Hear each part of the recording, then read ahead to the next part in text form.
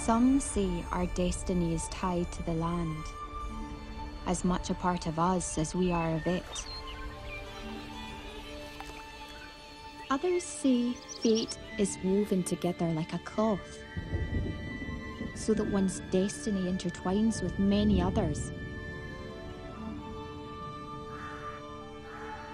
It's the one thing we search for or fight to change. Some never find it. But there are some who are led. Mm-hmm. Who are you?